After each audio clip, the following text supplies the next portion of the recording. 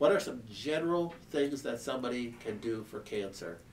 Uh, so if I'm diagnosed with cancer, some general things that you want to look at is um, you know, simply start with cleaning up your diet.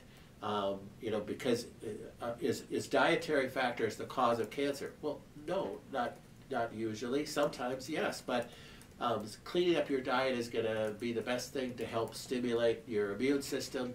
Obviously, you have cancer. If I'm diagnosed with cancer, what I am doing up to this point um, uh, is not working to get rid of it. Otherwise, I wouldn't be diagnosed with it. So you got to look at, though maybe it's not the causative factor, or maybe it's not going to make a giant difference. But certainly, looking at diet, cleaning out um, too much excess sugar in your diet, cleaning out too much excess animal proteins in your diet.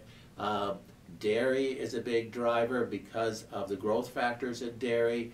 Uh, just doing some simple things to clean up your diet is a good thing to do. Uh, that's going to help your body be able to, your immune system be able to attack the cancer instead of dealing with inflammatory responses because of maybe poor dietary habits. So that would be one thing to do. From a nutritional standpoint, um, you know, our, my book is filled with different options as far as different supplements to take. Uh, so I'd probably refer you to look at that. And again, that's a free download um, on the website. So I'm not trying to sell you anything. So go on our website, connersclinic.com, uh, to the book section of the blog section, you can download a free copy of the book.